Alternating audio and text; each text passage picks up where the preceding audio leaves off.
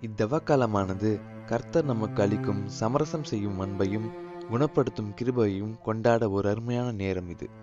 இப்பொழுது கூட கர்த்தர் சொல்கிறார் உங்கள் முழு இதயத்தோடும் என்னிடம் வாருங்கள் என்ற வாசகம் கடவுளின் அழைத்தலை உணர்த்துகிறது.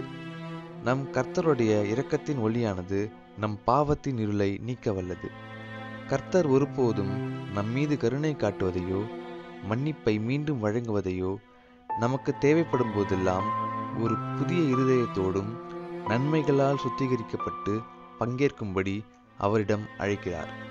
சமரசம் செய்ய வலியுறுத்துகின்றார். மாறுவதற்கான இந்த முயற்சியை வெறுமனே ஒரு மனித பணி அல்ல. மாறாக அது தன்னை சமரசம் செய்ய அனுமதிக்கிறது.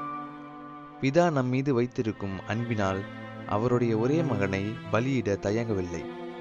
அவரிடத்தில் நீதிமான்களாக மாறி கடவுளின் நேரத்தை வீணாக்காமல் அவரிடமிருந்து நாம் மாறலாம்.